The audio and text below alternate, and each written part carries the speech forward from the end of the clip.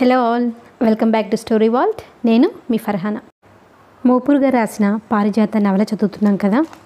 పారిజాతకు the great Surya group of కంపెనీస్లో ఉద్యోగం లభిస్తుంది.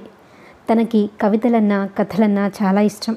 తను రాసిన కవితలు అప్పుడప్పుడు పత్రికల్లో ప్రచురిస్తూనే ఉంటారు. పారిజాత స్నేహితురాలు వనజ. పారిజాతను కష్టకాలంలో ఆదుకుంటుంది వనజ. వనజకి ఒక చిన్న కూతురు ఉంటుంది మీను. ఉదయం ఆఫీసు సాయంత్రం అనాథ శరణాలయానికి వెళ్ళి అక్కడ పిల్లలను పలకరించడం పారిజాత దినచర్యగా ఉండేది. ఆఫీస్లో కూడా తన బాధ్యతలను ఎప్పుడూ చక్కగా నిర్వర్తిస్తూ ఉండేది పారిజాత. కానీ అక్కడున్న ముగ్గురు మాత్రం పారిజాతను ఎప్పుడు ఇబ్బందులు నెట్టేస్తూ ఉండేవారు. వాళ్ళే రమేష్ రాజేష్ మరియు రోజా. రమేష్ మరియు రాజేష్లు పారిజాతను మాటలతో ఎలా లొంగబరుచుకోవాలని చూస్తుంటే రోజా తను మనోహర్కి తనకి మధ్యలో పారిజాత అడ్డొస్తుందేమోనని భయపడుతూ ఉంటుంది. మనోహర్కి ఒక కూతురు ఉంటుంది హరిచందన. తన భార్య అనారోగ్యంతో చనిపోయి ఉంటుంది. తన భార్య పోలికలు కొంత కలిసి ఉన్న పారిజాతను చూడగానే కొంత ఆకర్షితుడవుతాడు మనోహర్. ఆమె వ్యక్తిత్వం కూడా అలానే ఉంటుంది. ఇక మనోహర్ కూతురైన హరిచందన పారిజాతను మాత్రం విడిచిపెట్టదు. అమ్మ అమ్మ అంటూ తన వెనకనే తిరుగుతూ ఉంటుంది. ఇక నరేంద్ర.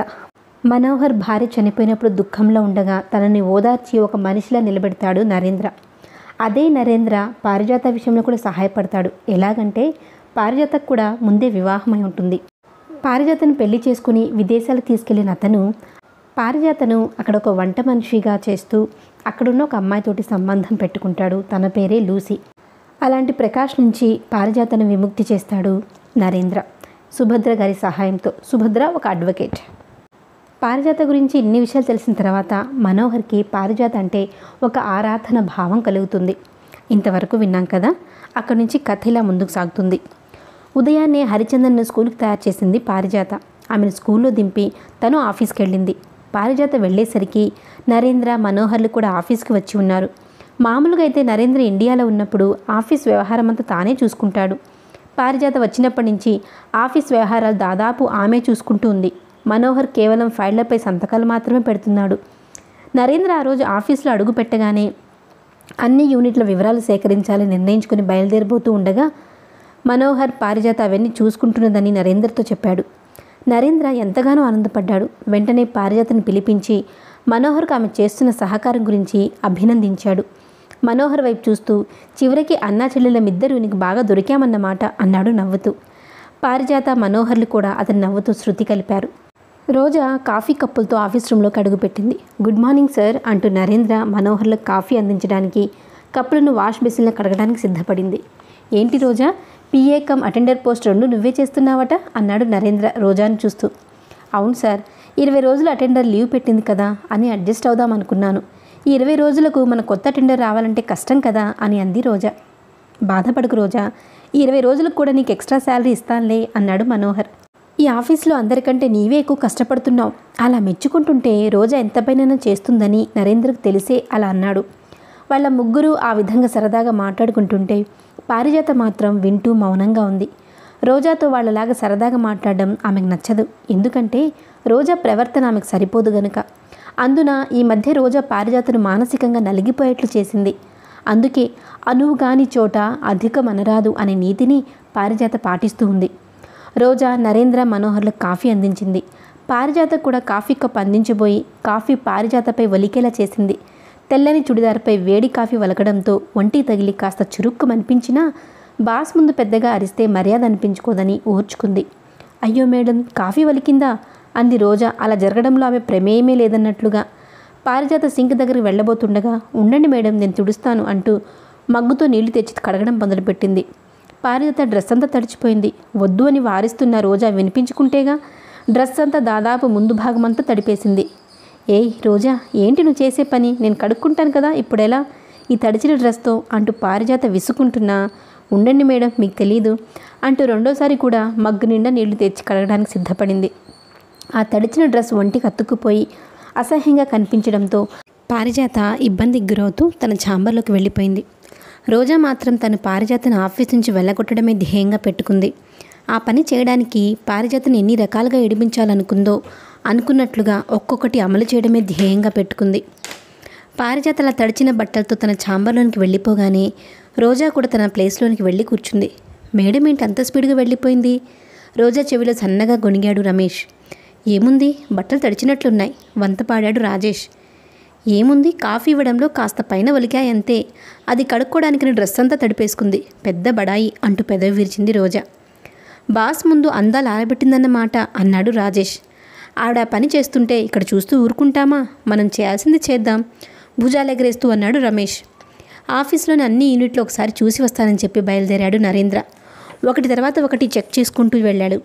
అన్ని యూనిట్ల హెచ్ఓడీల వద్ద ఉన్న రిజిస్టర్స్ చూస్తూ ఆఫీస్ వర్క్ బాగా జరుగుతున్నందుకు సంతృప్తి చెందాడు. చివరగా పారిజాత ఆధీనంలో జరిగే యూనిట్కి వచ్చేసరికి లంచ్ టైం కావడంతో తర్వాత చూద్దాం అని లంచ్ చేయడం కోసం వెళ్ళాడు. నరేంద్ర ఆఫీసులోకి వెళ్ళగానే రాజేష్ రమేష్ రోజాలు కనుసైగ చేసుకున్నారు. తాము చేయదలుచుకున్న పనికి సరైన సమయం ఇదేనని ముగ్గురు నిర్ధారించుకున్నారు. రోజా ఆఫీస్లో మనోహర్ నరేంద్ర పారిజాతులకు భోజనం వడ్డిస్తూ ఉండగా రాజేష్ రమేష్లు వాళ్ళు చేయదలుచుకున్న పని చేసేశారు. సాయంకాలం ఆఫీస్ ముగించే ముందు నరేంద్ర పారిజాత యూనిట్ ఒకసారి చూద్దామని వెళ్ళాడు. సంబంధిత ఫైళ్ళతో పారిజాత కూడా నరేంద్రను అనుసరించింది.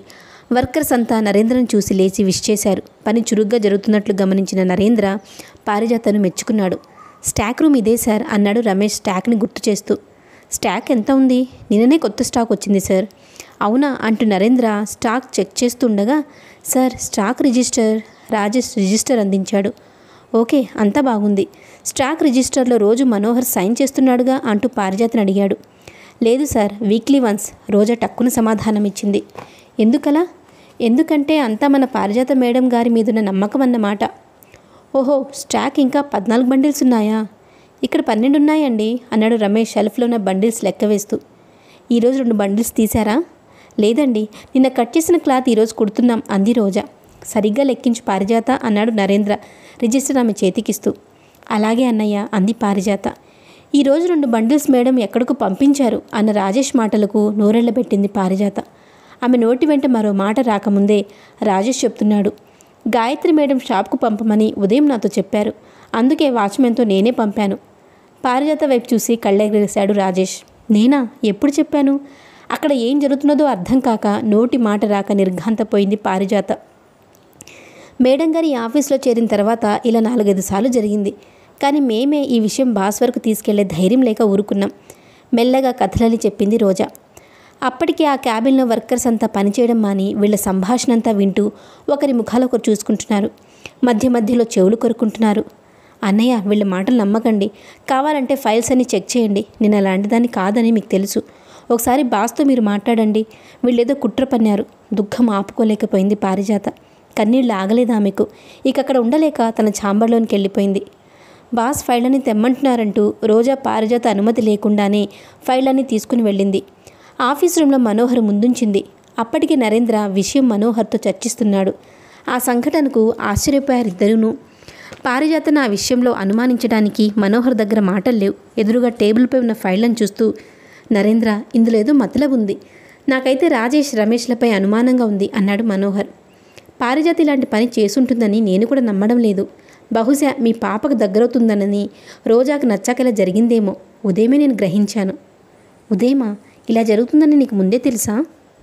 ఇలా జరుగుతుందని కాదు మనిద్దరికి రోజా కాఫీ ఇస్తున్నప్పుడు సరదాగా మనం రోజాతో మాట్లాడుతున్నా పారిజాత మాత్రం తనకు సంబంధం లేని విషయం అన్నట్లుగా ఉంది. అప్పుడే నేను అర్థం చేసుకున్నాను. మన రోజా తక్కువైంది కాదుగా పారిజాతను కూడా లెక్క చేయక కేర్లెస్గా ప్రవర్తిస్తూ ఉంటుందని అదే పారిజాత మౌనానికి కారణమని ఊహించాను. అవును నరేంద్ర రోజానే పారిజాత మీద అభాండం వేసుంటుందని నేను నమ్ముతున్నాను. పారిజాతను ఆఫీస్ రూమ్లోకి పిలిపించారు మనోహర్ నరేంద్ర. తను ఇంకా ఏడుస్తూనే ఉంది. తల పైకెత్తకుండా కూర్చుంది. ఈ విషయంలో మీరే శిక్ష విధించినా నిన్ను సిద్ధమే అన్నది తల వంచుకునే. ఏ శిక్ష విధించమంటారు? అది కూడా మీరే చెప్పండి అన్నాడు మనోహర్ నవ్వుతూ. మీ ఇష్టం. కానీ వాచ్మెన్ని పిలిచి నిజం నిరూపించిన తర్వాత దృఢ నిశ్చయంతో చెప్పిందామా? రోజా ద్వారా వాచ్మెన్ని పిలిపించాడు నరేంద్ర. సార్ ఉదయం బండిల్స్ తీసుకువెళ్ళి గాయత్రి మేడం షాప్లో ఉంచిన మాట నిజమే అన్నాడు వాచ్మెన్. నాకు తెలిసి గాయత్రి ఒక్కసారి నా కోసం ఆఫీస్కి వచ్చింది గాయత్రికి రెడీమేడ్ షాప్ ఉన్నట్లు వీళ్ళకిలా తెలిసింది? ఆశ్చర్యపోతూ నరేంద్రతో అంది పారిజాత. ఇలా ఇప్పటికి ఎన్నిసార్లు జరిగింది? ఈరోజు ఒక్కసారే అండి. ఈ అమ్మ పంపినారని నాతో రమేష్ బాబు చెప్పినారు సార్. నేను అతనికి చెప్పలేదన్నయ్యా ఎంతో నిజాయితీగా నమ్మకంగా చెప్పింది పారిజాత. పారిజాతం ఇలాంటి పని చేయరని నాకు కూడా తెలుసు. ఎందుకంటే గాయత్రి అమ్మగారు ఆ బండిల్స్ తీసుకుంటూ పారిజాత మేడం ఇవి పంపుతున్నట్టు నాతో చెప్పలేదే అన్నారు. ఆ ముగ్గురే అమ్మ మీద కోపంతో ఇదంతా చేసుంటారు. ఆఫీస్ రూమ్లో ఈ చర్చ జరుగుతుండగా ఏదో పని ఉన్నట్లు రోజా ఒకసారి వచ్చి వెళ్ళింది. వాచ్మెన్ ఏం చెప్తున్నాడని ఏదో పని ఉన్నట్లు వచ్చి వెళ్ళడం మనోహర్ నరేంద్రలు గమనించకపోలేదు. కోపమా? పారిజాత మీద వారికెందుకు కోపం? ఆరా తీశాడు మనోహర్. ఏమో సార్ కానీ ఈ అమ్మ మీద వాళ్ళకి మాత్రం కోపమని నాకు బాగా తెలుసు. ఎలా తెలుసు? అని నిలదీశాడు నరేంద్ర. నేను చెప్పలేనండి. ఎందుకని? ఎందుకంటే నీళ్ళు నమిలాడు వాచ్మెన్. నీకేం కాదులే చెప్పు. అభయం ఇచ్చాడు మనోహర్. అలాంటి మాటలు నా నోటితో చెప్పలేను. వాచ్మెన్ వెనుతిరిగి నాకు అనుమతి ఇస్తే వెళతాను సార్ అన్నాడు. ఆగక్కడ అని గద్దించాడు నరేంద్ర. నీకేం కాదు అందుకు నేను భరోసా ఇస్తున్నా. అసలు ఈ ఆఫీస్లో ఏం జరుగుతుంది? నీ నోటితో చెప్పలేనంత మాటలేమిటి? చెప్పు మేమున్నాం కదా. భుజం తడుతూ అతనికి ధైర్యం చెప్పాడు. అదే సార్ మన మనోహర్ సారు పారిజాత మేడం గారి గురించి వాళ్ళ ముగ్గురు ఏదేదో అనుకుంటున్నారు. ఇద్దరూ కలిసి పారిజాతం ఇంట్లో కాపురం పెట్టారని రోజా ఆఫీస్లో అందరితో చెప్పడం నేను విన్నాను. చెప్పరాని మాటలు చెప్పినందుకు చెంపలేసుకున్నాడు వాచ్మెన్. తలెత్తుకోలేకపోయింది పారిజాత. ఆమెను ఓదార్చడం మనోహర్ నరేంద్ర వల్ల కాలేదు. పారిజాతను స్కూల్ నుంచి పాపను ఇద్దరిని మన ఇంటికి తీసుకుని వెళ్ళమని మనోహర్ నరేంద్రతో చెప్పాడు. వాళ్ళలా వెళ్ళగానే మనోహర్ తన ఛాంబర్లోంచి బయటకు రాకుండా అక్కడే కూర్చున్నాడు. చిక్కుముడి లాంటి ఆలోచనలు అతని ముప్పిరిగొన్నాయి. ఏం చేయాలో తోచడం లేదు. ఆ ముగ్గురిని పిలిచి ఇందులో నిజమెంత అని అడిగేస్తే వాళ్ళు నిజం ఒప్పుకుంటారని లేదు? ఇదంతా వాచ్మెన్ కల్పించిన కథ అంటేనో? ఏం చేద్దాం? లేదా వాళ్ళని ఆఫీస్ నుంచి తొలగిస్తేనో? ఇప్పటికే వర్కర్స్ అంతా అదే అనుకుంటున్నారు కదా. వాళ్ళ ముగ్గురిని తొలగిస్తేనే సమస్య తీరదు. అసలు సమస్య ఎక్కడుంది? ఈ రోజాకు ఏ పని పాట లేదు. అయినా రోజాని ఎందుకు అనుకోవాలి? నేను పారిజాత పాప కలిసిమెలిసి ఉండడం చూస్తే ఎవరికైనా అనుమానం రాకపోతుందా? అసలు తప్పంతా నాలోనే ఉంది. కానీ నేనెప్పుడు పారిజాతతో అసభ్యంగా ప్రవర్తించలేదే. నలుగురు మాట్లాడుకునే విధంగా ఆమెతో గడపనూ లేదు. కేవలం హరిచందన సంతోషం కోసం నేను పారిజాతతో మాట్లాడుతున్నాను. అంతే. మనోహర్ ఆలోచనలు అలా సాగిపోతూనే ఉన్నాయి. టేబుల్పై తన ముందున్న పారిజాతకు సంబంధించిన ఫైళ్ళు ఒక్కొక్కటి తిరిగేయడం ఆరంభించాడు. సాయంకాలం ఏడవుతుంది. మనోహర్ ఇంకా ఇంటికి వెళ్ళలేదని రాజేష్ రమేష్ రోజాలు కూడా ఆఫీస్లోనే ఉన్నారు. వాచ్మెన్ ద్వారా ఆ ముగ్గురు జరిగిన చర్చ గురించి అప్పటికి తెలుసుకొని ఉన్నారు. తర్వాత ఏం జరుగుతుందో బాస్ ఏమంటారు అని ఆ ముగ్గురికి ఆదుర్దాగానే ఉంది. మనోహర్ ఫైళ్ళని తిరిగిస్తుండగా పారిజాత డైరీ అతని కంటపడింది. ఇతరుల డైరీ మనం చూడకూడదు కానీ పారిజాత ఈ మధ్య బాగా దగ్గరైంది. ఒక స్నేహితురాలిగా మారిపోయింది. పైగా ఆఫీసులో సమస్యలు ఏమైనా ఉంటే తప్పకుండా డైరీలో రాసుకుని ఉంటుంది కదా అని మనోహర్ బాగా ఆలోచించి ఆ డైరీ చదవడానికి నిర్ణయించుకున్నాడు. డైరీ వైపు ఒకసారి ప్రేమగా చూశాడు. లేత పసుపు రంగులో ఉన్న కవర్ పేజీపై ఉన్న పెయింటింగ్ అతని మనసుని కళ్ళను కట్టిపడేసింది. అదే పనిగా ఆ చిత్రాన్ని కన్నార్పకుండా పరిశీలించాడు. పదహారేళ్ళ యువతి పచ్చని పచ్చికతో నిండి ఉన్న కొండవాలుపై ఒంటరిగా కూర్చొని ఉంది. వినీలాకాశం నుంచి సన్నని చినుకులు రాలుతున్నాయి. సూర్యాస్తమయానికి ఇంకా రెండు మూడు గంటల సమయం ఉందన్నందుకు గుర్తుగా సూర్యుడు నడినెత్తి మీద కంటే కాస్త దిగి పడమటి వైపుకు వంగి ఉన్నాడు. ఎండ వాన కలిసి స్నానమాడుతున్నట్లుగా ఉంది ఆ దృశ్యం. ఆ సన్నని వర్షపు చినుకులపై లేత ఎండ పడుతున్నందుకు వల్ల అవి మెరుస్తూ ముత్యాల్లా కనిపిస్తున్నాయి. ఆ ముత్యాలాంటి చినుకులు పచ్చికలో అక్కడక్కడ ఉన్న గడ్డిపూలపై పడి పసుపు రంగు పూలు బంగారు వర్ణంలోనూ రోజా రంగు పూలకెంపు వర్ణంలోనూ మెరుస్తున్నాయి. ఆ పూలు సంక్రాంతి పండుగకు కొత్త పరికిణీలు ధరించి గొబ్బిపాడే పాట పల్లెటూరి బాలికల్లా కొత్త అందాలను సంతరించుకున్నాయి. కొండవాలు భాగంలో గొర్రెల మందలు అక్కడక్కడ ఒక్కొక్కటి లేదా గుంపులు గుంపులుగా క్రిందకు రాలిన వెండి మబ్బు తునకల్లా పచ్చికమేస్తూ ఉన్నాయి. వాటి కాపలా కాస్తూ గొర్రెల కాపరి ఓ మూలగా నిలబడి తను నిలబడిన చోట నేలకు తన గడ్డానికి మధ్య పొడవాటి వెదురుకర నానించి సుదీర్ఘ ఆలోచనలో నిమగ్నమై ఉన్నాడు. అక్కడ కూర్చున్న యువతి మాత్రం తన రెండు మోకాళ్ళను గడ్డానికి ఆంచి అదే పనిగా ఆ ప్రకృతి రమణీయతను గొర్రెల కాపరి నిబద్ధతను తిలకిస్తూ ఉంది. ఏ చిత్రకారుని మనసు పూయించిన రంగుల స్వప్నమో ఈ చిత్రం అనుకుంటూ మనోహర్ పది నిమిషాల పాటుగా ఆ పెయింటింగ్ వైపు చూస్తూ తన్మయత్వం పొందాడు. మనసు ఎందుకో కొత్త ఊహల్లో తేలియాడుతున్నట్లుంది అతనికి. అతని ఊహలకు భాష తోడై అతి సన్నిహితుల్లో మనసు పంచుకోవాలనిపించింది. హృదయపు పొరలో నిద్రాణంగా దాగి ఉన్న యవ్వనపు మధుర భావాలేవో మేల్కొని వైరాగ్యపు చీకటి తెరలను తరిమికొట్టాయి. ఆ భావ పరంపర డైరీల చేతికందిన పేజీలను కొత్త ఉత్సాహంతో తిప్పసాగాడు. మొదటి పేజీలోనే కోయిలమ్మ మామిడి కొమ్మలపై చిగుళ్ళు తింటున్నట్లుగా పేపర్ కటింగ్ అంటించబడి ఉంది. నునులత మావి చిగుళ్ళ రుచి చూసి ప్రభాతరాగం ఆలపించి కోయిలమ్మను నేను పారిజాత అనే అందమైన చేతిరాత అతని మనసును కట్టిపడేసింది. కాసేపు ఆ అక్షరాల వంకే చూశాడు. ఎంత అందమైన చేతిరాత! అని మురిసిపోయి మరొక పేజీ తిప్పాడు. ఎన్నో ఆశలను ఊహలను మనసు నిండా నింపుకొని పెళ్ళి పల్లకికి అమెరికా వెళ్ళాను నేను. నా కలల ప్రపంచం భళ్ళున బద్దలైంది. మనసు ముక్కలు ముక్కలైంది. ఇప్పుడు నేను ఎన్ఆర్ఐ భార్యను కాను. ఆయన కట్టుకున్న విదేశీ వనితకు ఊడిగం చేయడానికి వచ్చిన భారతీయ బానిసను. అది చదివి కాసేపు కళ్ళు మూసుకున్నాడు మనోహర్. ఇంతకు ముందున్న మధుర భావన కాస్త సుడిగాలి కొట్టుకుపోయింది. వెంటనే నరేంద్ర మాటల ద్వారా విన్న పారిజాత గతం కళ్ళ ముందు కదలాడింది. అమెరికాలో అనేక కష్టాలు అనుభవించిన తర్వాత పారిజాతలో కలిగిన ఉద్వేగానికి నిరసనం కాబోలు ఈ కవిత. ఆమె పడిన మానసిక బాధను ఊహించుకోవడానికి మనోహర్కి ధైర్యం చాలేదు. మరొక పేజీ తిప్పాడు. చిట్టి పలుకులతో చిట్టి రెక్కలతో స్వర్గధామము నుంచి దిగి వచ్చిన చిన్నారి దేవతలా ఉంది హరిచందన. ఆమె నవ్వులు నా నైరాస్యపు ఆకాశంలో మిలమిలా మెరిసే చుక్కలు నా నిర్జీవ దేహ సంద్రంలో ఎగిసిపడే చైతన్య కెరటాలు. వాడిన నా బ్రతుకు కొమ్మకు వికసించిన ఆనంద పారిజాతాలు. ఇది హరిచందన గురించి రాసింది. మొదటి కవిత చదవగానే అతను అనుభవించిన బాధ అనే మంటపై నీళ్ళు చల్లినట్లయింది.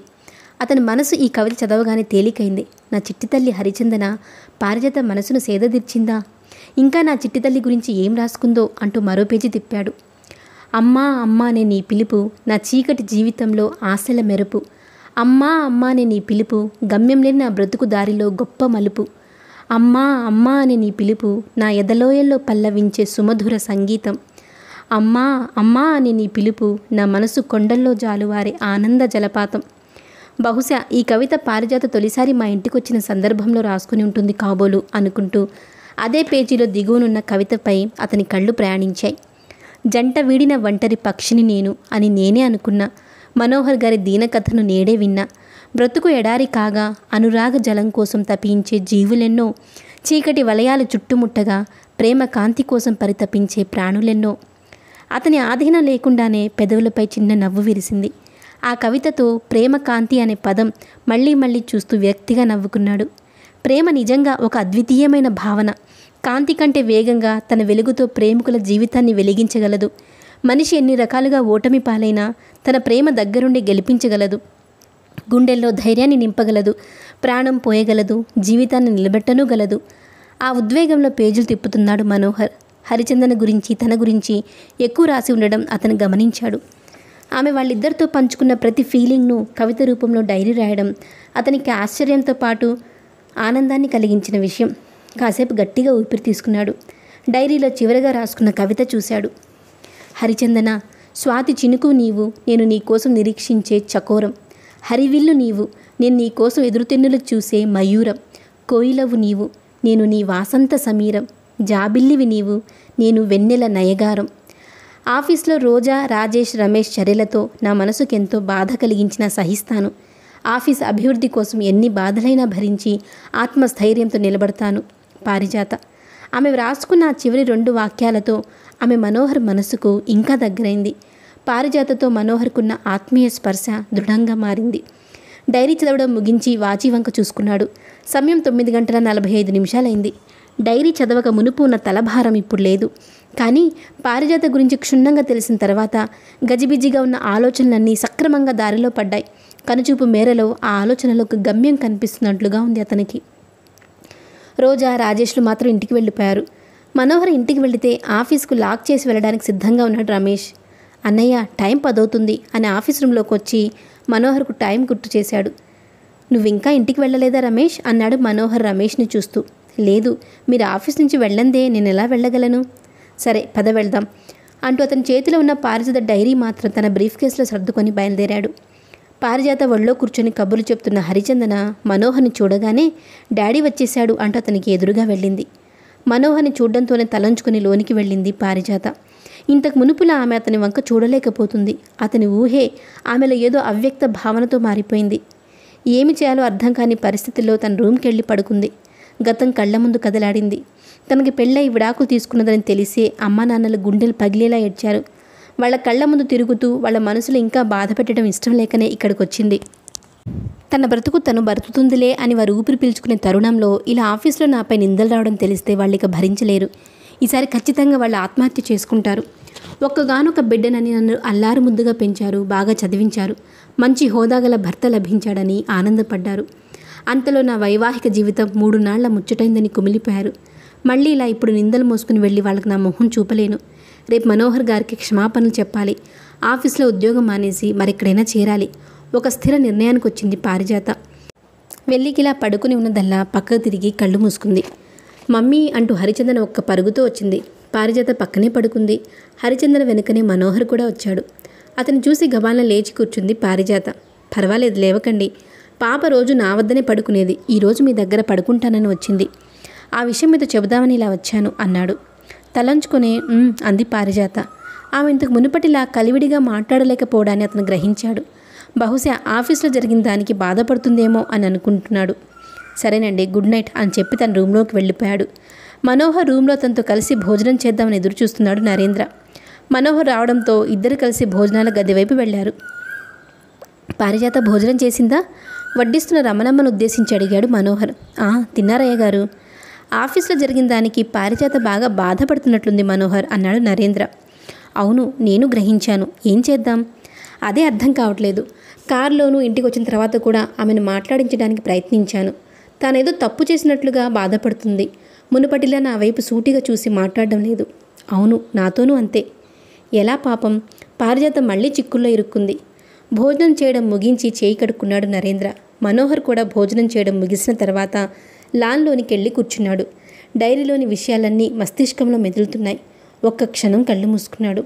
అందంగా నవ్వుతున్న సుచరిత ముఖం కళ్ళ ముందు కదలాడింది. తన చివరి క్షణాల్లో ఒక్క మాటైనా మాట్లాడకుండానే వెళ్ళిపోయింది.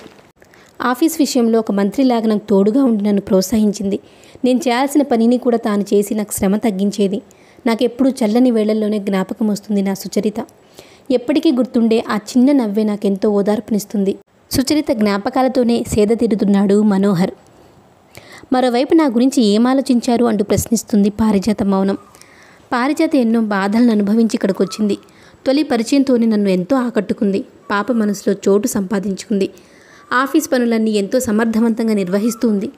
చివరికి నా వల్ల నా బిడ్డ వల్ల నిందల పాలైంది. స్త్రీ జీవితం ఇంతేనా? శ్రమిస్తుంది త్యాగం చేస్తుంది నిస్వార్థంగా జీవిస్తుంది. చివరికి నిరాధారంగా మారి నిందలతో రాజీ పడుతుంది. ఎలా? పారిజాతకు ఎలా న్యాయం చేయగలను? బహుశా ఇక ఆమె ఆఫీస్కు రాలేకపోవచ్చు.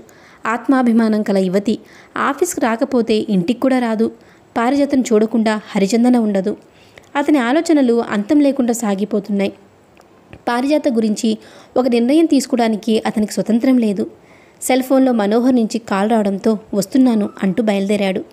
పారిజాతకు మళ్ళీ పెళ్ళి చేద్దాం. నరేంద్ర వైపు చూసి తన నిర్ణయం చెప్పాడు మనోహర్. నరేంద్ర నవ్వాడు. ఏం మాట్లాడాలో అతనికి తెలియడం లేదు. వింటున్నావా? ఏంటి మాట్లాడో వింటున్నాను. ఏం మాట్లాడాలి? పారిజాతకు మళ్ళీ పెళ్ళి చేద్దాం అంటున్నాను నాకు ఇష్టమే బట్ ఆమె ఒప్పుకోవాలిగా. ఒప్పిద్దాం. అలాగే కానీ హరిచందన పారిజాతను వదిలి ఉంటుందా? ఏమి మాట్లాడలేకపోయాడు మనోహర్. చెప్పు మనోహర్.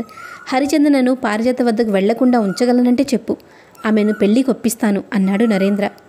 పారిజాత కూడా పాపను వదిలి ఉండలేదని నాకు అనిపిస్తుంది అంటూ హరిచందన గురించి పారిజాత డైరీలో రాసుకుని తీసి చూపాడు మనోహర్. డైరీ చూడకపోయి నేను గ్రహించగలను. వారిద్దరిని విడదీయడమే కష్టంగా ఉంది. ఇంత జరుగుతూ ఉంటే అసలు నువ్వెలా కళ్ళు మూసుకుని ఉన్నావు? ఆఫీస్లో వర్కర్స్ మనస్తత్వాలు తెలుసుకోలేకపోయావా? ఎవరి ప్రవర్తన ఎలా ఉంటుందో గ్రహించలేకపోయావా? కాస్త గట్టిగానే మందలించాడు నరేంద్ర. అదే నేను చేసిన పొరపాటు. తప్పైతే జరిగిపోయింది. ఇప్పుడేం చేద్దాం? సరే సమస్య అంటూ ఉంటే దానికి పరిష్కారం కూడా తప్పకుండా ఉంటుంది. ఇప్పటికే బాగా పొద్దుపోయింది. పడుకో అంటూ నిద్రకి ఉపక్రమించాడు నరేంద్ర. తన చెల్లికి అన్యాయం జరుగుతున్నది కాబోలు ప్రాణ స్నేహితుడైన నన్ను కూడా నిలదీశాడు అనుకున్నాడు మనోహర్. వేకువలో ఐదింటికి నిద్రలేచింది పారిజాత. హరిచంద్ర నిద్రలేవక ముందే వెళ్ళిపోవాలి. పాపలేస్తే నన్ను వెళ్ళనివ్వదు. ఇక తప్పదు. పాపకి ఎలాగైనా దూరంగా ఉండాలి. నేను ఇక్కడి నుంచి వీళ్ళ ఆఫీస్ నుంచి దూరంగా వెళ్ళిపోవాలి. హరిచంద్ర నా కోసం కొద్ది రోజులు ఏడుస్తుంది. ఎలాగోలా నన్ను మర్చిపోకపోతుందా? ఇలా ఆలోచిస్తూ వెళ్ళి కౌశల్యమ్మ గాని కనిపించింది. ఇంకా ఎవరు నిద్రలేదని నిర్ధారించుకొని తన ఇంటికి బయలుదేరింది. అపార్ట్మెంట్ మెయిన్ గేట్ వద్దకు వెళ్ళేసరికి అప్పుడే తెలతెలవారుతూ ఉంది. ఆ రోజు శుక్రవారం కాబట్టి ఓనర్ గారి భార్య మెయిన్ గేట్ వద్ద శుభ్రంగా కడిగి ముగ్గు పెట్టి పసుపు కుంకుమ బొట్టు పెట్టి లోనికి వెళ్ళింది. ఎంత రాజధాని నగరమైనా నాగరికులైన సంప్రదాయాలను ఇంత చక్కగా పాటిస్తున్నందుకు పారిజాత ఆమెను మనసులోనే అభినందించింది. లోనికి వెళ్ళబోయే క్షణంలో మరో ఐదు మంది స్త్రీలు కూడా గేటు వద్దకు చేరుకున్నారు. బహుశా వీళ్ళంతా మార్నింగ్ వాకింగ్కి వెళ్ళి వస్తున్నారన్నమాట అనుకుంది పారిజాత. మనోహర్ గారి ఇంటి వద్ద బయలుదేరుతున్నప్పుడే వెయ్యి దేవుళ్ళకు మొక్కుకుంది. పొద్దుటి అపార్ట్మెంట్ దగ్గర ఎవరి కంట్లోనూ పడకూడదని సరిగ్గా ఆ శిరీష కంట్లోనే పడింది. ముందే కకావికలంగా ఉన్న మనసు ఇంకా డిస్టర్బ్ అయింది. రాత్రంతా ఏ రాచకార్యాలు వెలగబెట్టిందో పాపం. తలంచుకుని వాళ్ళ ముందే నడుస్తున్న పారిజాతకు ఆ మాటలు వినిపించాయి. అది శిరీష గొంతే గుర్తుపట్టగలిగింది పారిజాత. శిరీష మాటలకు మిగతా వాళ్ళంతా కోరస్గా నవ్వారు. వెనక్కి తిరిగి ఆమెను దులిపేయాలంత కోపం వచ్చింది. కానీ సుశీలమ్మ ఆంటీ అన్నట్లు ఏనుగులు వెళుతూ ఉంటే కుక్కలు మెరుగుతాయన్న విషయం గుర్తుకొచ్చి విసవిసా వెళ్ళిపోయింది పారిజాత. సరిగ్గా శిరీష వాళ్ళ ఇంటి ముందు వెళ్ళేసరికి రాజారావు పేపర్ చదువుతూ ఉన్నాడు. పారిజాతను చూడడంతోనే ఆయన కూర్చున్న మడత కుర్చీలోంచి లేచి వచ్చాడు. పారిజాత గారు గుడ్ మార్నింగ్ ఇప్పుడే పేపర్లో మీ కవిత చదివానండి. నేనే మీ ఇంటికి వద్దామనుకుంటున్నాను. చాలా బాగా రాశారు కదండి. ఏదైనా ఊరిలో వస్తున్నారా? ఇదేనా రావడం? అతని మాటలకు మౌనంగా నిలబడి చిరునవ్వుతో సమాధానం ఇచ్చింది. సరే తర్వాత కలుద్దాం. వెళ్ళి రిలాక్స్ అవ్వండి. అని ఆమె వెళ్ళడానికి దారిచ్చాడు రాజారావు. "ఆ, తర్వాత తీరిగ్గా వెళ్ళి కలుద్దురు కానీలేండి ఆవిడేమైనా ప్రముఖ కవయిత్రా? ఏ మీడియా వాళ్ళతో తీసుకెళ్ళి ఇంటర్వ్యూ ఇప్పించండి. ఇంకా బాగా పబ్లిసిటీ వస్తుంది. రాత్రంతా ఎక్కడ గడిపిందో ఏమిటో? ఇలాంటి వాళ్ళకు ఈ అపార్ట్మెంట్ వాళ్ళు ఎలా అద్దెకిస్తారో ఏమిటో? మాధవరావు గారు మన ఇంటికి వస్తే అతన్ని అడిగేస్తాను. తాడోపేడో తేల్చేస్తాను. ఏదో చిన్న కవిత. నాలుగు ముక్కలు రాసిందని ఆ నాలుగు అక్షరాలు పేపర్లో వచ్చిందని ఆవిడ ఇంటికెళ్ళి అభినందిస్తాడట. నేను ఎన్నిసార్లు సంఘసేవ కార్యక్రమాలు చేయలేదు. ఎన్నిసార్లు పేపర్లో నా ఫోటోలు రాలేదు. ఒక్కసారైనా. ఆహా ఒక్కసారైనా మీ నోటితో నన్ను మెచ్చుకున్నారా? పొరుగింటి పుల్లకరు రుచి అంటే ఇదేనేమో. ఇప్పుడే వాకింగ్కి వెళ్ళి వస్తూ అందరం చర్చించుకున్నాం. ఈ పారిజాత లాంటి వాళ్ళు ఇక్కడ ఉంటే ఫ్యామిలీ లేడీస్కి ఎంత అవమానం? రాజారావు పారిజాతను అభినందించడాన్ని ఒకే ఒక కారణంతో తన అక్కసునంతా వెళ్ళబుచ్చుతూ ఉంది శిరీష. పక్క పురుషులున్న పారిజాత చెవిలో శిరీష మాటలు పడకపోలేదు. ఏడుస్తూనే బ్రష్ చేసుకుంది. రాత్రి నుంచి అమ్మా నాన్నలు ఒకటే గుర్తుకొస్తున్నారు. వెంటనే వాళ్ళకు ఫోన్ చేసింది. అమ్మ గొంతు వినగానే కన్నీళ్ళు దిగమింగుకుంది. కానీ తన వల్ల కావడం లేదు. ఏంటమ్మా ఏదైనా సమస్య? అమ్మ అడిగింది. అదేం లేదమ్మా కాస్త జలుబు చేసింది అంతే సరే మీ నాన్నగారు నిన్ను చూడాలంటున్నారు. ఒంటరిగా ఎలా ఉందో ఆ ఇల్లు చుట్టుపక్కల వాతావరణం ఎలా ఉందో అని ఆయన దిగులు పడుతున్నారు. మేమిద్దరం కలిసి వద్దామనుకుంటున్నాం. నేనే ఊరికి బయలుదేరుతున్నానమ్మా నాకు కూడా మిమ్మల్ని చూడాలని ఉంది. రేపే బయలుదేరుతాను ఉంటాను. అమ్మతో మాట్లాడిన తర్వాత ఎంతో రిలాక్స్డ్గా అనిపించింది. కాఫీ కలుపుకొని తాగింది. ఈరోజు ఆఫీస్కి వెళ్ళలేను. మనోహర్ గారికి ఫోన్ చేసి అదే చెప్పాలి. వద్దు వద్దు. రోజా వేసి నిందతో సార్ కూడా డిస్టర్బ్ అయి ఉంటారు. నరేంద్ర అన్నయ్యకి చెప్పాలి. ఉదయం వాళ్ళకి చెప్పకుండా వచ్చేసి ఎంతో అమర్యాదగా ప్రవర్తించాను. ఏమనుకున్నారో? పాపం హరిచందన ఏడ్చి ఉంటుంది. అయినా ఆంటీ వాళ్ళతో చెప్పి ఉంటుందిలే. అన్నయ్య సార్ నా గురించి ఏమీ అనుకోరు. నరేంద్రకు ఫోన్ చేసింది పారిజాతం. అన్నయ్య పాప నిద్రలేసి నన్ను వెళ్ళనివ్వదని ఉదయాన్నే ఇంటికి వచ్చేశాను అంది. ఓకే పారిజాత ఎలాగో ఆఫీస్కి వస్తావుగా? అక్కడ కలుసుకుందాంలేమ్మా అన్నాడు నరేంద్ర. అన్నయ్య నేను నేను ఈరోజు ఆఫీస్కి రాలేనన్నయ్య నరేంద్ర ఊహించిందే జరిగింది. అలాగే ఈరోజు రెస్ట్ తీసుకో అన్నాడు నరేంద్ర. అది కాదన్నయ్య ఈ ఒక్కరోజే కాదు. ఆఫీస్కి ఇక మీదట నేను రాలేను. ఈ విషయం నేను బాస్తో చెప్పలేకపోతున్నాను అంది పారిజాత. ఆ విషయాలని తర్వాత మాట్లాడుకుందాం. కావాలంటే ఈరోజు రెస్ట్ తీసుకో. ఈ ఆఫీస్ మనదే అనుకోమ్మా అప్పుడే సమస్యలు ఉండవు అనునయించాడు నరేంద్ర. ఏం మాట్లాడాలో పారిజాతకు అర్థం కావడం లేదు. సరే అన్నయ్య ఉంటాను అని ఫోన్ పెట్టేసింది. వెంటనే గాయత్రికి ఫోన్ చేసింది. ఆఫీస్ నుంచి వచ్చిన బండిల్స్ తిరిగి ఆఫీస్కి పంపమని చెప్పింది. అసలు ఏం జరిగింది మేడం? ఎప్పుడు లేనిది ఈ బండిల్స్ ఎందుకు పంపారు? అని ఆరా తీసింది గాయత్రి. నేను తర్వాత వచ్చి నీతో మాట్లాడతాను గాయత్రి అని చెప్పింది పారిజాత. అలాగే మీకోసం ఎదురు చూస్తుంటాను అంది గాయత్రి. ఎంత వద్దనుకున్నా శిరీష సూటిపోటి మాటలు చెవుల్లో మారుమోగుతున్నాయి. ఆమెను ఎదుర్కొనే ధైర్యం నాకు లేక కాదు. నా జీవితం నా సొంత విషయాల గురించి శిరీషకు విడమరిచి చెప్పుకోవాల్సిన అవసరం లేదు. అలా చెప్పుకుంటూ పోతే ఎంతమందికని చెప్పాలి? అసలు వీళ్ళ స్వవిషయంలో నేను జోక్యం చేసుకున్నప్పుడు నా జీవితంలో వీళ్ళకేం పని? ఆఫీస్లోనూ అంతే. ఎందుకు నన్ను అవమానిస్తున్నారు? బహుశా వీళ్ళతో నేను కలివిడిగా ఉండలేదేమో? భర్త నుంచి నేను దూరంగా ఉన్న ఆత్మన్యూన్యత భావంతో నేను అందరితో కలవలేకపోతున్నాను. ఒక స్త్రీ ఒంటరిగా ఉందంటే చుట్టుపక్కల వారికి అనుమానం రావడం సహజమే. ఇక్కడికి మనోహర్ గారు పాప తరచుగా వస్తూ పోతూ ఉండడం కాస్త అందరికీ అనుమానం కలిగించిన విషయమే. అందులో నూరు శాతం కాకపోయినా పది శాతమైన నా తప్పు లేకపోలేదు. సుశీలమ్మ ఆంటీ లాంటి వాళ్ళు ఒకరిద్దరు నా పరిస్థితిని నా ప్రవర్తన బట్టి అర్థం చేసుకోగలరు. మిగతా లోకానికి అంత అవసరమేముంది? ఎంత గొప్పవాళ్ళనైనా జనం వాళ్ళలోని లోపాలను ఎత్తి చూపడానికి సిద్ధంగా ఉంటారు కానీ వాళ్ళ కీర్తిని ఏమాత్రం మెచ్చుకోరు. ఆఫీస్లో కూడా నా క్యాడర్ని బట్టి నేను ప్రవర్తించాను. రోజాతోనూ మిగిలిన వర్కర్స్తోనూ కలివిడిగా ఉండలేను. నా స్థాయికి దిగి వాళ్ళతో కలిసిపోలేను. లోపం ఎక్కడుందో నాకు సరిగ్గా అర్థం కావడం లేదు. నా తప్పేమీ లేనప్పుడు నన్ను ఇంతగా అవమానించిన వాళ్ళను ఎందుకు ఎదిరించలేకపోతున్నాను? సోఫాలో కూర్చుని తల వెనక్కి కానించి పైకి చూస్తూ ఆలోచిస్తూ ఉంది పారిజాత. ఏమ్మా రాత్రి ఎక్కడికైనా ఊరెళ్ళావా? ఎదురుగా సుశీలమ్మ చేతిలో హాట్ బాక్స్తో నిలబడి ఉంది. ఆంటీ మీరా రండి కూర్చోండి అని సోఫాలో ఆమెకు చోటిచ్చింది పారిజాత. రాత్రి మనోహర్ గారి ఇంట్లో ఉన్నాను ఆంటీ. నరేంద్ర అన్నయ్య ఈ మధ్యనే అమెరికా నుంచి వచ్చారు కదా. అందుకని సార్ చిన్న పార్టీ ఇచ్చారు. సరే దోశలు చేశాను. స్నానం చేసి తినమ్మా అంటూ టిఫిన్ బాక్స్ పారిజాతకి ఇచ్చింది సుశీలమ్మ మీకెందుకంటే శ్రమ? నేను ఏదో ఒకటి తింటాను కదా. ఇంతకుముందే లావణ్య కూరగాయల ముక్కల కోసం నా దగ్గరకు వచ్చింది పారిజాత. ఉదయం వాకింగ్ నుంచి వాళ్ళు వస్తుంటే నువ్వు అప్పుడే వచ్చావని చెప్పింది. అందుకే టిఫిన్ తయారు చేసి తీసుకొచ్చాను. ఇప్పుడు వచ్చి నువ్వేం చేసుకుని తింటావు? తిను అంది సుశీలమ్మ. లావణ్య ప్రస్తావన రాగానే అవమానంతో తలదించుకుంది పారిజాత. లావణ్య నా గురించి అయితే నా ఆంటీ దగ్గర చెడుగా చెప్పి ఉంటుందేమో అనే పరధ్యానంలోకి వెళ్ళిపోయింది. పారిజాత పరధ్యానాన్ని సుశీలమ్మ అర్థం చేసుకుంది. నేను ఎప్పుడూ చెప్పాను కదమ్మా ఈ లోకమే అంతా. ఎదుటి వాళ్ళు బాధల్లో ఉంటే ఓదార్చడం మాని వాళ్ళని మాటలతో మరింత హింసిస్తారు. ఆత్మస్థైర్యంతో కష్టాలకు ఎదురు నిలబడే వాళ్ళంటే మరీను. వాళ్ళకి సమస్యలు ఉండకపోవమ్మా అయినా ఎదుటి వాళ్ళ గురించి మాట్లాడుకోవడమే వాళ్ళకి ఆనందం. ఆంటీ వాళ్ళు బాగా చదువుకొని ఉద్యోగాలు చేస్తూ కూడా ఇలా చీప్గా మాట్లాడుతున్నారంటే కన్నీళ్ళను కళ్ళలోనే ఆపుకొని ఆవేదనతో అంది పారిజాత. చదువా? చదువుకి సంస్కారానికి ఎంతో సాన్నిహిత్యం ఉందని ఒకప్పుడు పెద్దల మాట. కానీ ఈ కాలం చదువుల మహిమేమో కానీ అవి పుస్తకాలకే పరిమితం. ఇంకా చెప్పాలంటే కడుపు నింపడానికే పరిమితం. ఎదుటివాడిని అర్థం చేసుకోలేని చదువులెందుకు ప్రతి ఒక్కరికి నేనే గొప్ప అనిపించుకోవాలని తపనే కానీ తోటివాడికి కష్టాల్లో పాలు పంచుకుని సాయపడాలనే సంస్కారం ఎందరికుంది చెప్పు? నాకు తెలిసి నీలకంఠం గారు వంటి మహానుభావులను ఏ కొందరినో చూడగలను తల్లి. నీకు ఒంటరిగా అనిపిస్తే మా ఇంటికి రామ్మా అలాంటి వాళ్ళ మాటలు పట్టించుకొని మనసు పాడు చేసుకోకు. ఒక్కొక్కసారి ఎంతో ధైర్యవంతురాలుగా అనిపిస్తావు. ఒక్కొక్కసారి బేలగా మారిపోతావు. ఎప్పుడు స్థిరంగా ధైర్యంగా ఉండటానికి ప్రయత్నించు.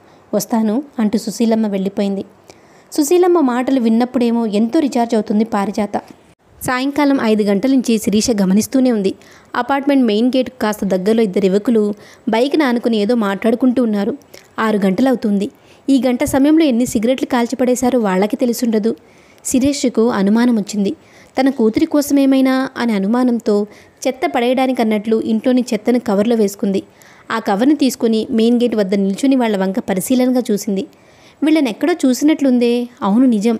పారిజాతకు జ్వరం వచ్చినప్పుడు వీళ్ళిద్దరూ వచ్చి వెళ్ళారు అని కన్ఫర్మ్ చేసుకుంది. బయట వెలగబెట్టేది చాలాగా ఇక్కడ కూడా వచ్చారన్నమాట. ఇలా శిరీష ఆలోచిస్తూ తిరిగి ఇంట్లోకి వెళ్ళబోయే సమయానికి పారిజాత ఎక్కడికో ప్రయాణమై ఎదురైంది. నా అనుమానం ఖచ్చితంగా నిజమైంది. ఆ ఇద్దరు దీనికోసమే వచ్చారన్నమాట అని ఒక్కసారి పారిజాత వంక చురుచురా చూసి లోనికి వెళ్ళింది. శిరీష ఎదురైనప్పుడల్లా ఏదో ఒకటి అనకుండా వదిలేది కాదే ఇప్పుడేంటి మౌనంగా వెళ్ళిపోయింది? అని పారిజాత అనుకుంటూ తన పని మీద తాను వెళ్ళిపోయింది. శిరీష లోనికి వెళ్ళబోయి కూడా మళ్ళీ అనుమానంతో గేటు బయటకు వచ్చి పారిజాత వెళ్ళిన వైపే చూసింది. ఆ వచ్చిన వాళ్ళిద్దరూ పారిజాత వెనకనే వెళ్ళారు. ఖచ్చితంగా నేను అనుకున్నది నిజమైంది. వీళ్ళు దీనికోసమే గంట నుంచి ఎదురు చూశారు ఇక లాభం లేదు. దీని బండారం బయట వేయాల్సిన సమయం వచ్చింది. ముందు ఈ విషయం లావణ్యతో చెప్పాలి. అనుకున్నదే తడువు చకచకా లావణ్య వద్దకెళ్ళింది. ఇద్దరు కలిసి ఒక నిర్ణయానికి వచ్చారు. పారిజాతని ఎలా అపార్ట్మెంట్ నుంచి వెళ్ళగొట్టాలా అని వారి నిర్ణయం. పారిజాత ఆఫీస్కి రాకపోవడంతో రమేష్ రాజేష్ రోజాలకు అదొక టాపిక్గా మారింది. అందుకే రోజా సలహాతో రమేష్ రాజేష్లు అపార్ట్మెంట్ దగ్గరకు వచ్చారు. మనోహర్ ఆఫీస్ నుంచి పాపతో సాయంకాలం పారిజాత ఇంటికి వెళ్తున్నాడేమో అని వారికి అనుమానం. అందుకే వాళ్ళిద్దరు అపార్ట్మెంట్ దగ్గర ఎదురు చూశారు. పారిజాతే బయటకు వెళ్ళడంతో వాళ్ళు ఆమెను ఫాలో అయ్యారు. అది చూసే శిరీష పారిజాతపై అనుమానం పడింది. గాయత్రి పారిజాత కోసం ఎదురు చూస్తూ ఉంది. మీకోసం ఎదురు చూస్తున్నాం మేడం అంటూ గాయత్రి పారిజాతను రిసీవ్ చేసుకుంది. వస్తానని చెప్పిన తర్వాత మాట తప్పను కదా. మిమ్మల్ని చూస్తే చాలు. నాకు ఎందుకో ఎక్కడలేని ఉత్సాహం వచ్చేస్తుంది అంది గాయత్రి. కొందరిని చూస్తే అంతే గాయత్రి గారు. నాకైతే ఫ్రెండ్స్తో కలిస్తే ప్రపంచాన్ని జయించినంత ఆనందం కలుగుతుంది. సరే క్లాత్ బండిల్స్ ఆఫీస్కి పంపేశారు కదా. ఇదిగోండి ఆటో ఛార్జ్ అంటూ డబ్బులు ఇవ్వపోయింది పారిజాత. మీరు మరీ మేడం మీ వల్లనే నాకంటూ ఒక సంపాదన ఏర్పడింది. ఇలాంటి వద్దు అంది గాయత్రి. అవును క్లాత్ నా వద్దకు ఎందుకు పంపారు? నేనెక్కడ పంపాను? మా ఆఫీస్లో కరటక దమనకులని ఇద్దరున్నారులే ఇదంతా వాళ్ళ పని. నా ఇమేజ్ను దెబ్బతీయడం కోసం వాళ్ళు పన్నిన పన్నాగమన్నమాట. అవునా? అంత పెద్ద పోస్ట్లో ఉన్న మిమ్మల్ని కూడా ఇలా నిందించారా? బాస్ ఏమన్నారు? ఏమంటారు గాయత్రి? వాచ్మెన్ ద్వారా నిజం బయటపడింది. అంతే మేడం నిజం నిప్పు లాంటిది మనుషులు దాన్ని కప్పిపుచ్చాలని చూసినా దేవుడు ఒప్పుకోడు కదా. అందులోనూ మీలాంటి వాళ్ళను బాధ పెట్టి వాళ్ళు ఏం బాగుపడతారు? నేనేమైనా దేవతనా? ఇంటి గాయత్రి గారు మీ గొప్పదాన్నే కావచ్చు. లోకంలో అంతా మనల్ని అభిమానించే వాళ్ళే ఉండరు కదా. ఈర్ష పడేవాళ్ళు కూడా ఉంటారు. అదంతా ఏమో కానండి మీ గురించి మాత్రం నేను ఒక నిజం చెప్పగలను. ఏంటది? మీ మీద ఇలా అబండాలు వేసినందుకు వాళ్ళకు ఒరిగేదేమి ఉండకపోగా మీకు మాత్రం తప్పకుండా మీ బాస్ ప్రమోషన్ ఇచ్చి తీరుతారు. ఓకే గాయత్రి గారు అలాంటిదే జరిగితే మీకు పార్టీ ఇస్తాను. ఉంటాను. బాయ్. పారిజాత ఫ్లాట్ శిరీష ఫ్లాట్ వెనక కాబట్టి పారిజాత వెళ్ళేటప్పుడు వచ్చేటప్పుడు శిరీషకు తప్పకుండా కనిపిస్తుంది. సాయంకాలం వెళ్ళిన పారిజాత ఒక గంటలో తిరిగి రావడం చూసి శిరీష ఆశ్చర్యపోయింది. ఇదేంటి? ఒక గంటలోనే తిరిగి వచ్చింది? బాయ్ ఫ్రెండ్స్తో కలిసి అలా ఐస్ క్రీమ్ తినొచ్చుంటుంది కాబోలు. దీన్ని సమయం చూసి ఎలాగైనా పోలీసులకు పట్టించాలి అని శిరీష ఒక నిర్ణయానికి వచ్చింది. పారిజాతాల గుమ్మంలో అడుగుపెట్టగానే ఫోన్ మోగిన శబ్దం విని శిరీష కూడా పారిజాతను అనుసరించింది. ఆ ఫోన్ ఎక్కడి నుంచి వచ్చిందో? అని చెవులు రిక్కించి వినసాగింది. రేపు ఉదయం ఐదింటికల్లా బయలుదేరి వచ్చేస్తాను అని పారిజాత ఫోన్లో మాట్లాడడం విన్నది శిరీష. తనకు కావాల్సిన ఇన్ఫర్మేషన్ వచ్చినందుకు మెల్లగా వచ్చి తన ఇంటికి చేరుకుంది. పారిజాత కంటే ముందుగానే నిద్రలేచి తన ఇంటి కిటికీ తలుపులు తెరిచి చూస్తూ ఉంది శిరీష. పారిజాత ఐదింటికి బయలుదేరి వెళ్ళడం చూసింది. ఇక ఈరోజు మార్నింగ్ వాక్కి వెళ్ళకుండా దీన్ని పోలీసులకు పట్టించే మార్గం ఆలోచించాలి అని లావణ్య వద్దకెళ్ళింది. నరేంద్ర రెండు రోజులకు పారిజాత నుంచి ఎలాంటి ఇన్ఫర్మేషన్ లేదు. అసలు ఆమె ఏమనుకుంటున్నదో ఓసారి ఫోన్ చేసి కనుక్కుందామా? మనసులో మాట అన్నాడు మనోహర్. ఏదో ఫైల్ చెక్ చేస్తున్న వాడలా తలపైకెత్తిన మనోహర్ వంక చూశాడు నరేంద్ర. నిన్న ఉదయం పారిజాత నాకు ఫోన్ చేసింది మనోహర్ అన్నాడు నరేంద్ర. ఏమని చెప్పింది? బహుశా తను ఇంకా ఆఫీస్కి రాలేదేమో. రానని చెప్పేసిందా? ఆ మాటల్లో బాధని గుర్తించగలిగాడు నరేంద్ర. రాను అని ఖచ్చితంగా చెప్పలేదు కానీ ఆమె మాటలను బట్టి రాలేదని నాకు అర్థమైంది. అలా అనకు నరేంద్ర. ఆమెను మనం బాధ పెట్టకపోయినా ఆమె మన ఆఫీస్కి సంబంధించిన వ్యక్తి. ఒక రకంగా చూస్తే పరోక్షంగా నాకు భాగం ఉంది. ఆమె బాధపడుతుంటే ఆమె మానాన్ని ఆమెను వదిలేయడం భావ్యం కాదు అని నాకు అనిపిస్తుంది. సరే ఒకసారి నువ్వే ఫోన్ చేసి మాట్లాడు మరి అని తన పనిలో నిమగ్నమయ్యాడు నరేంద్ర. రాత్రి చేశాను. ఏమంది? ఫోన్ స్విచ్ ఆఫ్లో ఉంది. మాట్లాడవేం నరేంద్ర? అదే ఆలోచిస్తున్నాను. అంతలో ఫోన్ రింగ్ అవడంతో మనోహర్ లిఫ్ట్ చేశాడు. ఓకే మేడం రండి ఫ్రీగానే ఉన్నాను అని పెట్టేశాడు మనోహర్. ఎవరు? పారిజాతనా? కాదు సుభద్ర గారు. ఏవో కాగితాల మీద నా సంతకాలు కావాలట. అది సరే మనమే పారిజాత వద్దకు వెళ్తే బాగుంటుంది కదూ? అలాగే వెళ్దాం. వెళ్ళి పరామర్శించడం మన బాధ్యత కూడా కదా అన్నాడు నరేంద్ర. మనోహర్ పారిజాత గురించి నాలుగు రోజులుగా ఆలోచిస్తున్నాడని నరేంద్రకు తెలుసు. పాపనైతే ఎలాగోలో ఓదార్చుతున్నాడేమో కానీ తన మనసుని కట్టడి చేసుకోలేకపోతున్నాడు. మనోహర్కు తెలియకుండానే పారిజాతపై ప్రేమను పెంచుకున్నాడేమో అనే అనుమానం కూడా నరేంద్రకు కలగపోలేదు. మామూలుగా ఆఫీస్లో ఇంకెవరి విషయంలోనూ అయితే తన అభిప్రాయాన్ని చొరవగా వెలిబుచ్చేవాడు కానీ పారిజాత విషయంలో కాస్త నిదానించాడు. కారణం తన చెల్లెల్ని వెనకేసుకొస్తున్నాడనే భావన మనోహర్ కలుగుతుందేమోనని. ఎలాగైతేనే మనోహర్ మనసులోని మాట బయటపడింది. తన అభిప్రాయం కూడా అదే కావడంతో నరేంద్ర సంతోషించాడు. మనోహర్ కూడా నరేంద్ర తన అభిప్రాయానికి ఏకీభవించడంతో కాస్త రిలాక్స్ అయ్యాడు. ఏంటి ఆఫీస్ అంత నిర్మానుష్యంగా ఉంది అంటూ వచ్చింది సుభద్ర. స్టాఫ్ అంతా ఎవరి పనుల్లో వాళ్ళు నిమగ్నమై ఉన్నారు మేడం. అందుకే అంటూ నవ్వాడు నరేంద్ర. అయినా ఎందుకో? ఇంతకు ముందులుగా కళగా లేదు నరేంద్ర. మీ ఇద్దరి ముఖాలు కూడా ఏదో పోగొట్టుకున్నవిలా ఉన్నాయి. అంది వాళ్ళకెదురుగా ఉన్న కుర్చీలో కూర్చుంటూ. నిజంగా లాయర్ అనిపించుకున్నారు మీరు. ముఖం చూసి ఇట్టే మనసు చెప్పేస్తారు మీరు అన్నాడు నవ్వుతూ మనోహర్. ఓకే మీరు పోగొట్టుకున్న వజ్రం త్వరలో మీకు దొరుకుతుంది లేవయ్యా. దిగులు పడకండి. ముందు టీ తెప్పించు మనోహర్ అంది సుభద్ర. ఆమె మాటలకు నరేంద్ర కంటే ముందుగా మనోహర్లో కొత్త ఉత్సాహం వచ్చింది. వెంటనే టీ ఆర్డర్ చేశాడు. ఏంటి మేడం కేసులు వాదించడమే కాకుండా ఈ మధ్య జాతకాలు కూడా చెప్తున్నారా? సుభద్రను మాటలతో ఉడికించడమే నరేంద్రకు సరదా.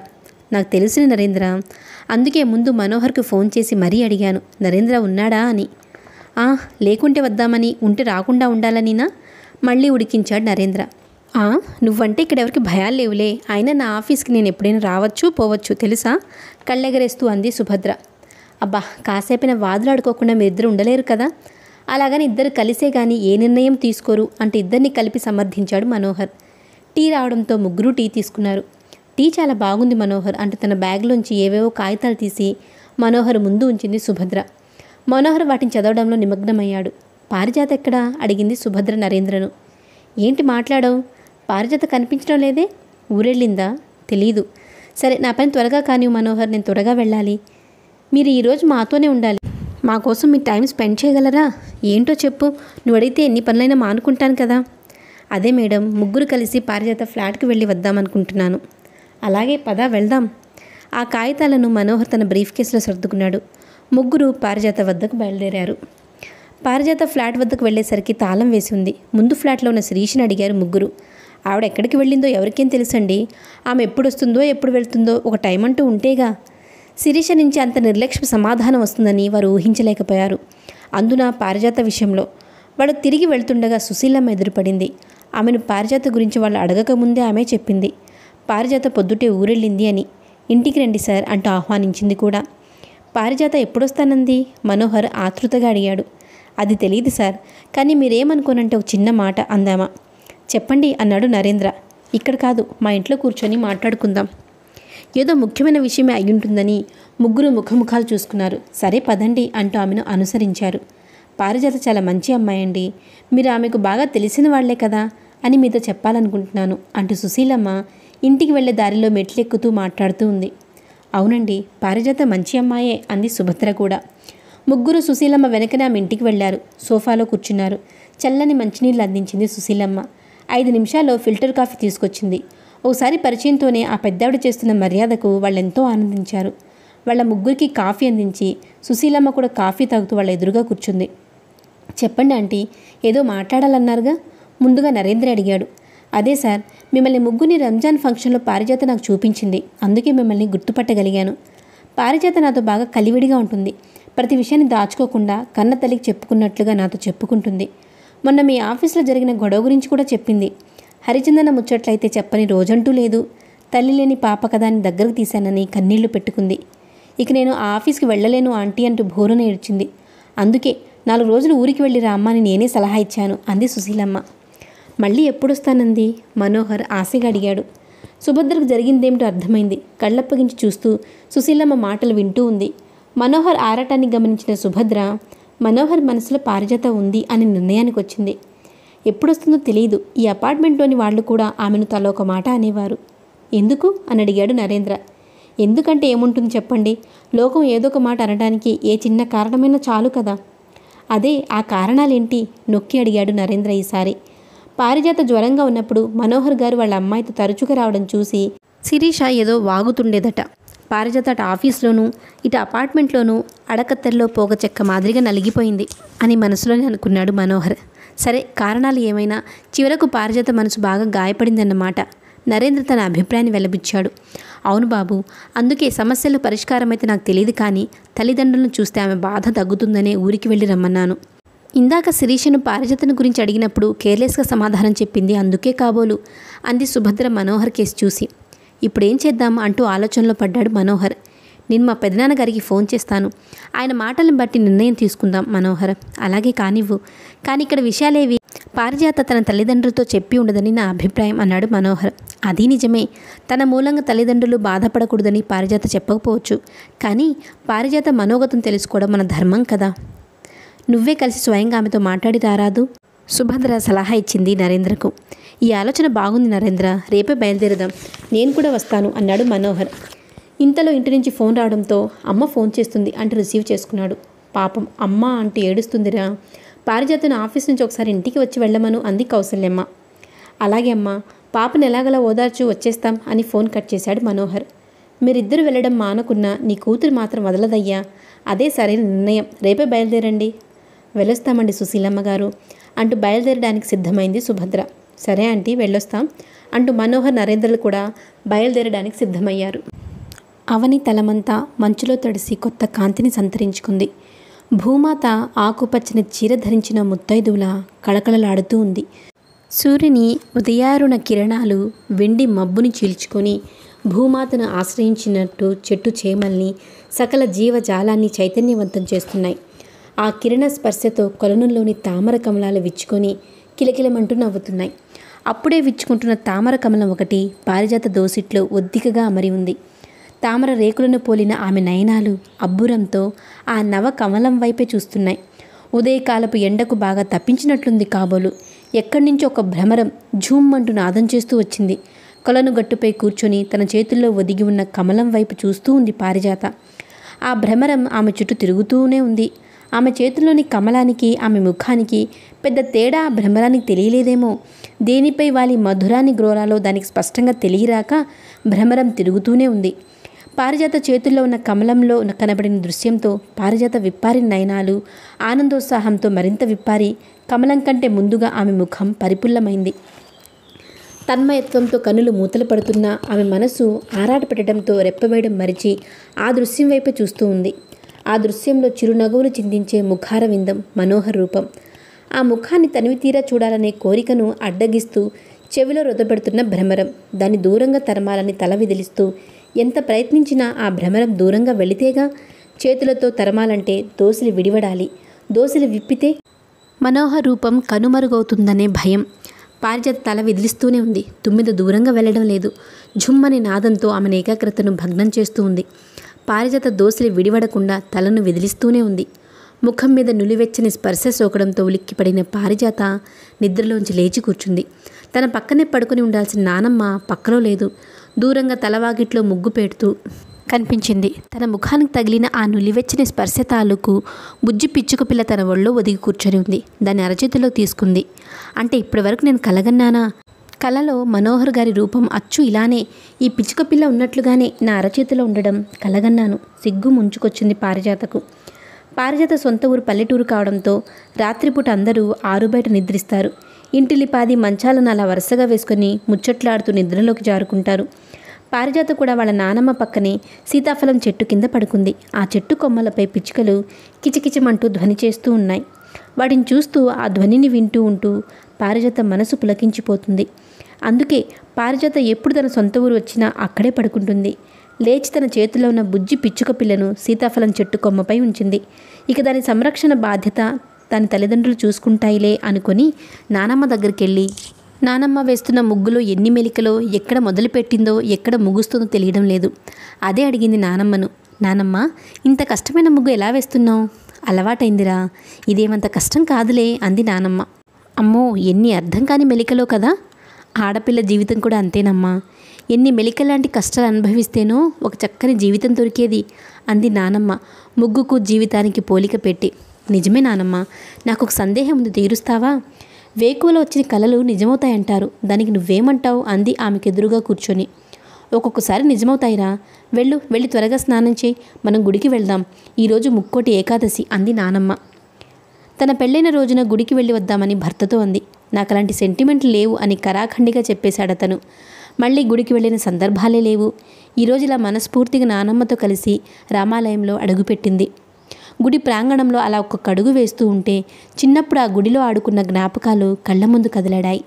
తన స్నేహితులంతా ఎక్కడెక్కడో స్థిరపడిపోయారు. వాళ్ళలో వనజ మాత్రమే తనకు చేరువలో ఉంది.